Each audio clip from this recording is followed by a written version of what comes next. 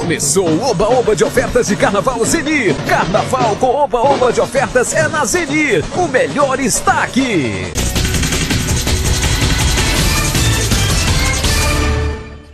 É que de, de antemão a notícia do assalto, nós não nós fizemos deslocamento até ali ao sítio Julião e ao chegarmos lá próximo, é, nos encontramos com essa moto lá, parada, à beira da estrada lá. É, e como foi essa ação que é, ocasionou a recuperação dessa motocicleta?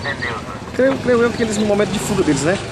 Sabendo que a gente estava aqui na área e tudo, deixaram essa moto no local parada e seguiram fuga em outra moto, outra uma vermelha, e agora vamos ficar em campo novamente para ver se consegue localizar esse pessoal. É, até o momento, a, suas, a, tem alguma informação repassada das características desses indivíduos? Temos, nós estamos com algumas informações aqui no nosso poder e vamos cair agora em campo para ver se consegue localizar esses indivíduos. Aí, o depoimento aqui do soldado Alípio do FTA Motos para o portaiguato.net.